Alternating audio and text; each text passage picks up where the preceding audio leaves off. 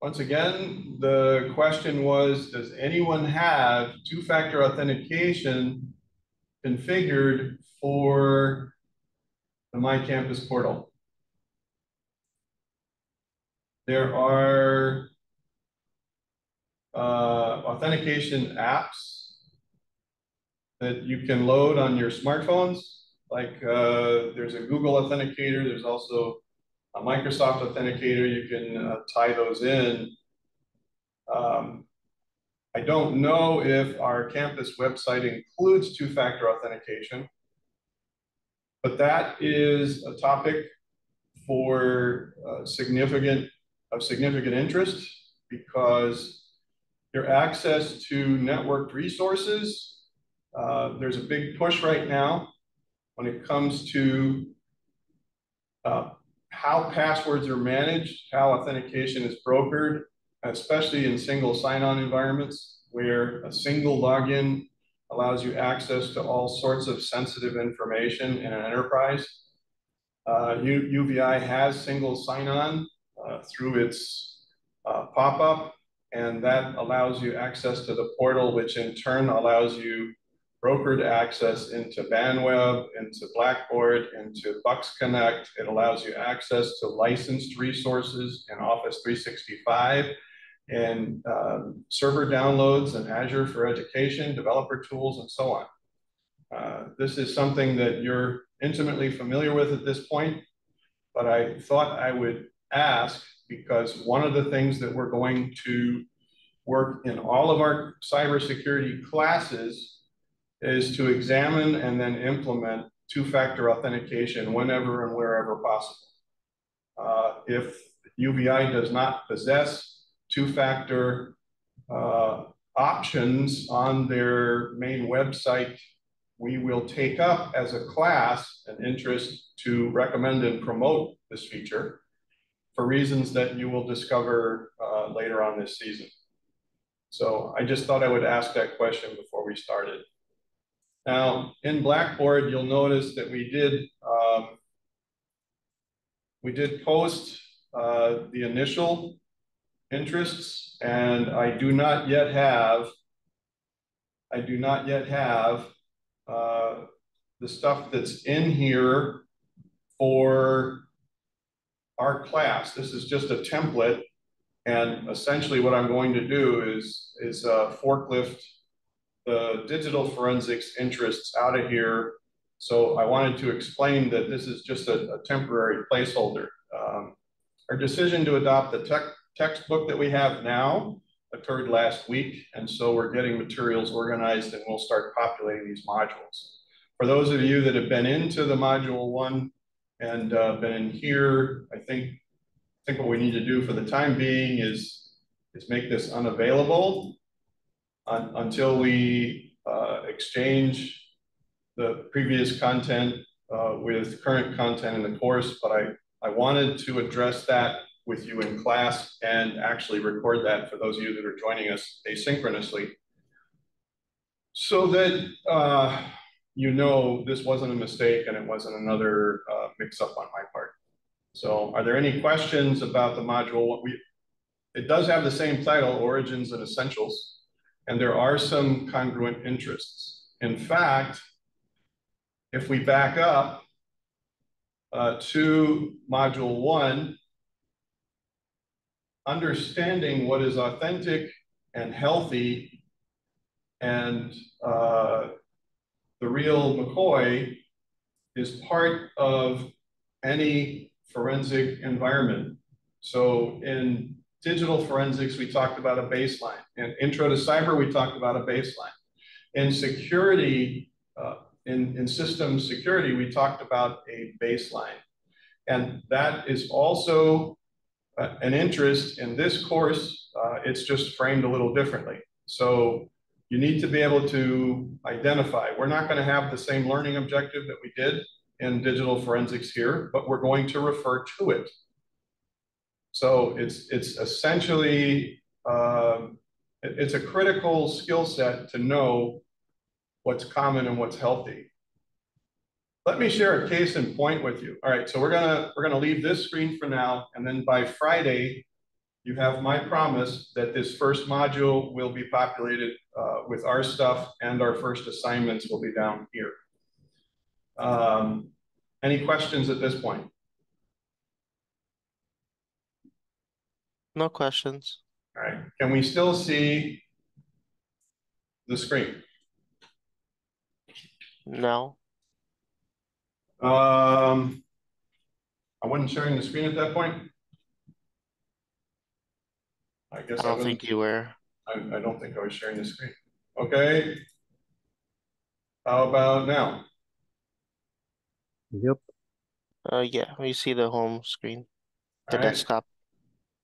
I'm gonna go ahead and change this to duplicate display so I don't have weirdness going on. Um. No.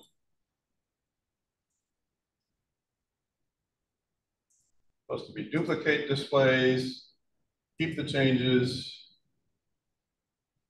So everybody can see the screens now, right? No, you stop sharing. Stop sharing.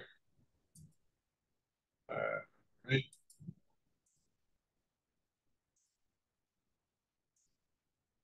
How about now?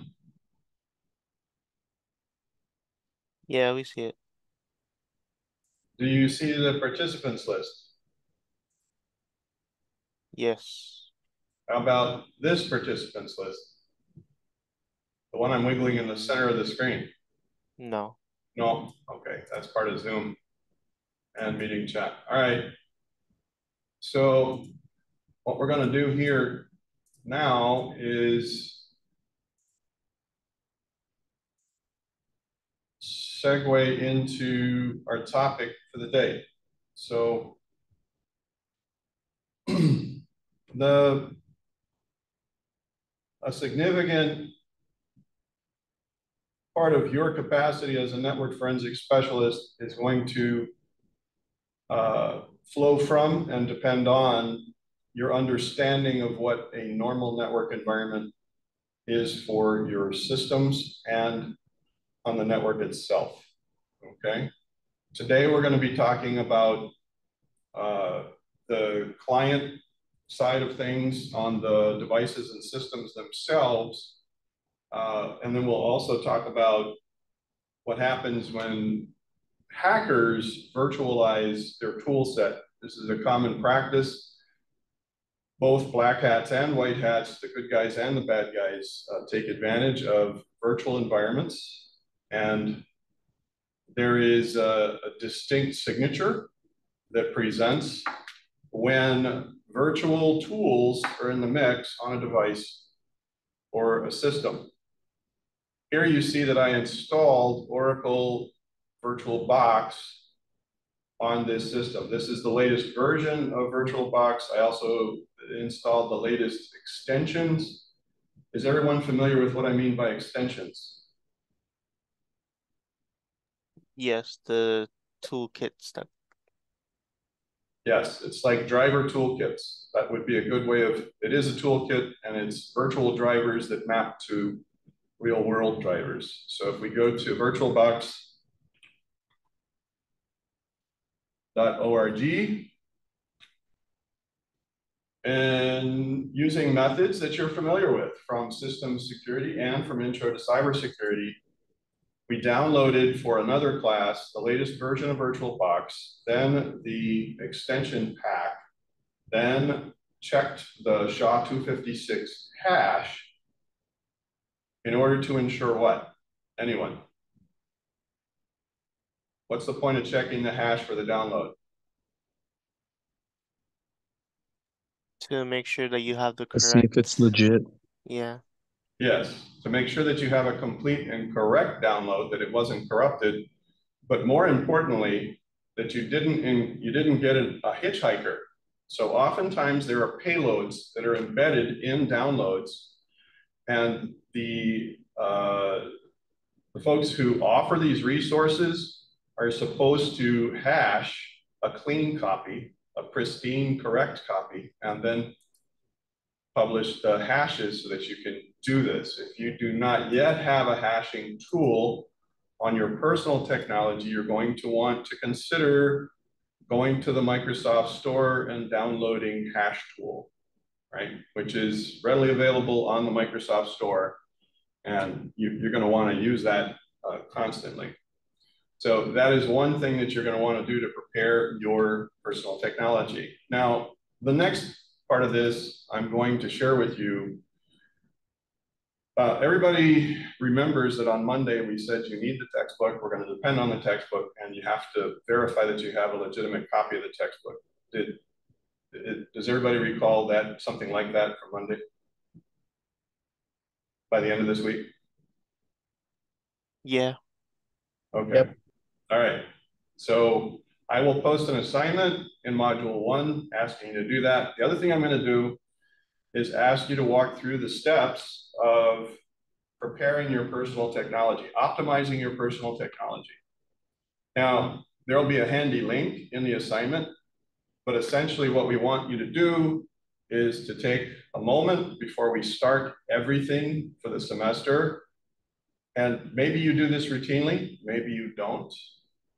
But if we go to YouTube and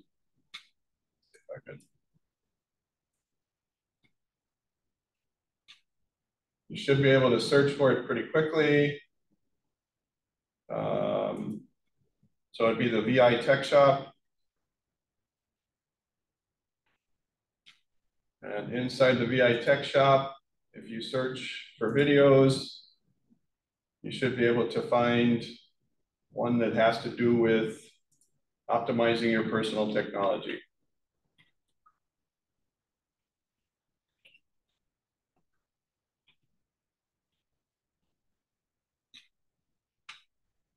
And of course, it wouldn't show um, right off the top as I'm demonstrating in class. I, I will have the link in there for the assignment. In any case, oh, I think that might be the name of the assignment. And then the actual link is uh, maintaining your personal technology. In any case, what you're going to do is update all of your applications. You're going to show that you've updated Windows uh, you will then perform two tasks after you've you've uh, completed updates of the OS and all applications. Does anyone recall what those two tasks are? And I'll give you a hint, it has to do with your hard disk.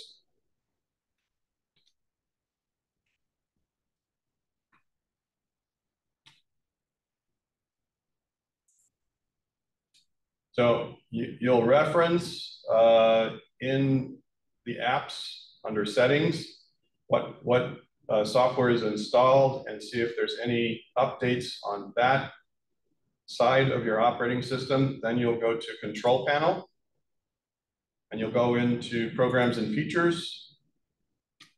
And you'll make sure that all of the stuff that's loaded on your system is updated. So you'll find it and you'll update it. Anything that's in there once you've finished updating your applications, the software installed, and the OS, and you've proven that your latest update is a certain build, right? So you go ahead and install and check. You're going to capture a screenshot more precisely on your system under About. You should see this build number or higher. Now, there might be subtle variations depending on whether or not you're dealing with Windows 10 Home Edition. We'll get, we'll check to make sure it's the same uh, consistent number, or we'll provide each of those separate uh, build numbers. But you'll need to be on version 22H2 if you're in Windows 10. If you're on Windows 11, I think it's 22H1 or 21H2, I'm not sure, uh, but we'll, we'll provide the, the specifics. After you've completed all those updates, you're going to go into control panel and in administrative tools or off the start menu, you can search for disk cleanup and defragmentation. Now, it's important to note that when you're doing disk cleanup and defragmentation, you do not want to be running or multitasking three other things.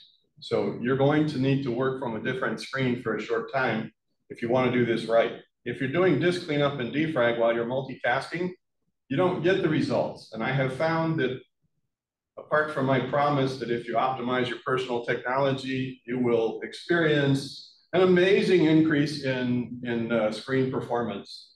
Half the time students are saying, well, I'm not seeing that. And the reason they're not seeing that is because they have all sorts of things embedded in their system that's running real time in the system tray that they don't really use, or they have a lot of screens open, or they have a couple of browsers with 47 tabs. Um, everybody know what I'm talking about? So when they go to the performance side of the tab, what they see for memory is a pretty hefty consumption of memory. Now, the reason you're seeing a large consumption of memory in my case is because I'm I'm using Zoom to conference with you. I have a web browser open. I have Teams in the background for phone calls in case of emergencies. I've got another browser here. Uh, we've got Task Manager. So we're consuming half of our memory. But the point is, is that when you're running disk cleanup and defrag, you will not get the result you need unless you do that first, okay?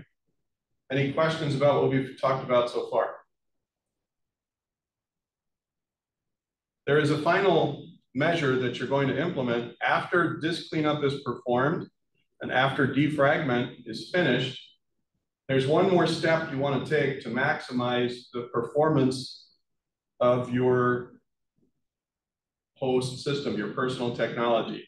Does anyone remember the final adjustment we made? What we would do is reboot after, so here's the clue. After disk cleanup and optimization is completed, you want to reboot your system and before you load any applications or start anything, you're going to make a single change to your file system. Does anyone remember what that single change was? The detailed view? Uh, it is helpful to modify the view if you haven't done that already, and that's actually not a bad thing to mention because and the defaults for most uh, systems don't include hidden items, file name extensions, and then under options, if you look at, you, you first select the PC so that it says this computer or my computer. I've named this computer RTP129STX because I'm going to be working on multiple systems and I don't want to get confused when I'm looking at File Explorer, right? So in your case, you'll see this computer or my computer, unless you've named your system. You've changed the name of the default name of your system. You're gonna go into view. You can leave this top one unchecked, but all the other boxes should be checked. This should be selected as a radio button, and these should be unchecked. So that's what you want. The reason for doing so is that when you're looking in hard drives on your system, you don't want anything to evade you, especially file extensions or hidden files. So thank you for bringing it up, Sully. I appreciate that. Um, that's not what I was referring to, but in case you hadn't done that from previous classes in Intro to Cyber or Digital Forensics or any of the other uh, CSC classes we've had together,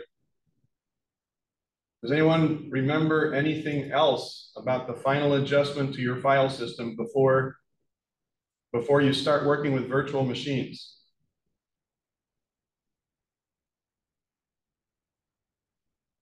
I'm hearing crickets. Is it partitioning the drive?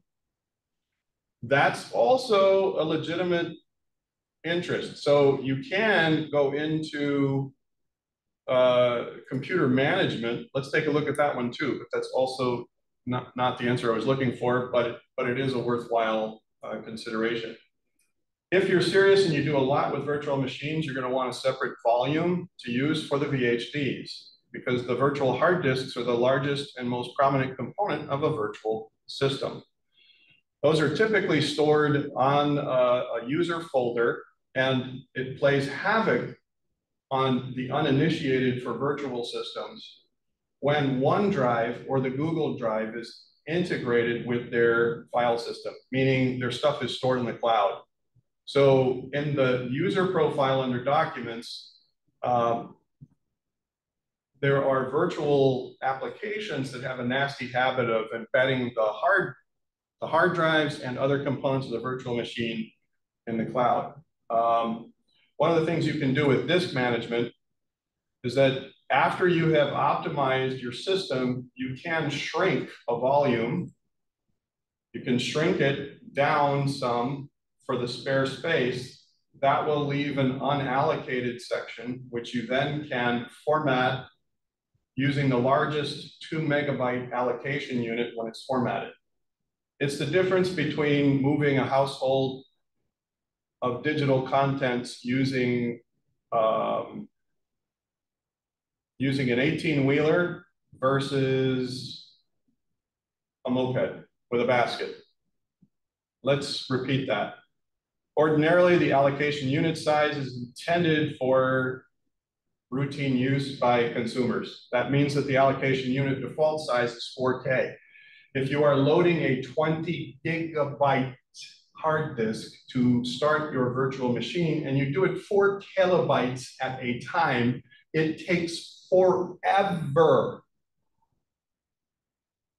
Does everybody understand what I'm talking about here? Yep. But if you have a two megabyte allocation unit on a separate disk, a lot of times when people get their laptops, they just go with what was installed at the factory and they don't make these changes. I happen to have, let's look at this. I happen to have 699 gigabytes free. I could shrink this volume by 240 gigs. I could do that. Then I could partition a logical disk. It would be drive letter D or E, depending on the letter scheme that I have. I could format it using two megabytes. That would be the ideal location to stand up a VHD directory where we store virtual hard disks. When they load, they load two megabytes instead of four kilobytes, right? So it is an order of magnitude faster and it allows you to really work efficiently. But that's, that's not quite what we wanted to do as our final adjustment. So that's a consideration. If you have extra hard disk space, and Sully, once again, thank you for bringing that up as well. If you have additional space, that is one more change you can make.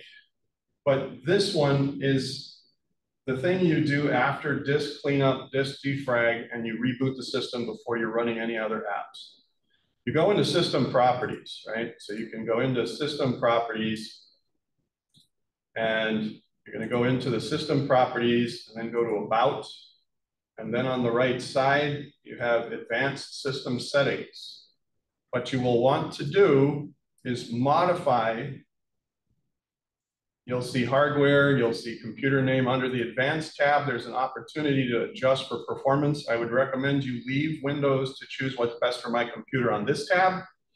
But if you really have uh, a badass graphics card and you'd like to adjust for best performance, you can do so and you might gain quite a bit the only difference is a lot of things don't, even with a badass graphics card, you don't get the benefit of the badass graphics card when you do this. So if you do this, Windows will make decisions for you when and how your graphics elements on the screen. You might have other purposes for your laptop besides this class, right? So I tend to recommend now, um, I, you know, students were saying, oh, the screen elements are faint and my games, my, my online games suck. That's because they were doing this. If you go to the advanced tab, you have an opportunity. By the way, you can tweak the client operating system so that it behaves more like a server by selecting this radio button for background services. What am I saying?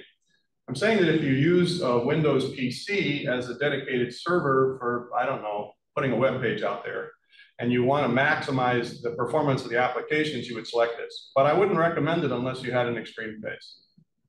What I want you to notice here is that the paging file, the virtual memory has been changed.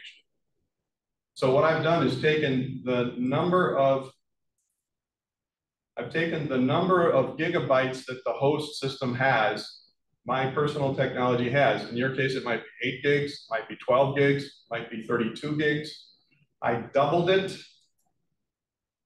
I got a calculator out and I said, okay, I have sixteen gigs of RAM, I'm gonna multiply that by two, then I'm gonna multiply it by ten twenty-four, because that's the number of megabytes. I'm gonna establish a, a paging file size or swap memory on my hard disk so that my RAM memory can breathe easy when I'm swapping out huge chunks of memory and data. I'm going to select, this is usually checked and that's grayed out, but what you're going to do is uncheck it, then select customized size, enter the initial size and the maximum size to the same value. You'll click set. If you do not click set, the change will, once again, if you do not click set at that time, your change will not take effect and we won't see this afterwards. You're gonna wanna show this screen and share this screen as a part of your submission for the assignment. So what we recommended in previous classes and were optional, we are not recommending as an option in this class. It is mandatory that you do these things with your personal technology to the extent that you can do them. Now, if you don't have extra disk space, so you can shrink your volume and create a dedicated VHD, that's okay. But you should have enough disk space on your system to allow for twice the amount of RAM dedicated. Once you do that, you're going to find that the size remaining in your disk drive shrinks by 32 gigabytes. So before I took this measure, we had 32 gigabytes more, and it would fluctuate depending on what I was doing. We don't want Windows in this scenario to make decisions on the fly while you're multitasking, running a virtual machine, trying to analyze the network packets as you're capturing them with Wireshark, and then you're also running an Nmap scan. It gets pretty extreme. Does everybody understand what I'm talking about here? Now, what do you do if you don't have personal technology that's up to speed that's capable of doing this?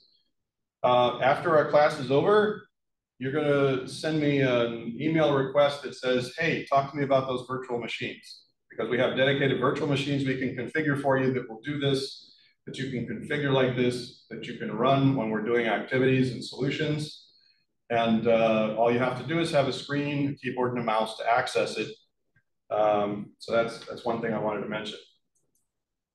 Okay, that is part of your optimizing personal technology. It'll tell you, or should tell you, when you say okay, it'll say, hey, you got to reboot your system. If it doesn't say reboot your system, make sure you click apply, right? If it doesn't say reboot your system, you should reboot your system just the same. And then you want to go back in there and make sure it shows whatever change you made, 3232. You also want to go back in and make sure that your hard disk space reduced by that amount. So you're sure the the setting change took effect. At that point, you're ready to start working with virtual machines. Now I have VirtualBox installed, but if I look at my network environment, what should I see when I look at my network environment if I'm using and have already provisioned virtual machines? Anyone know?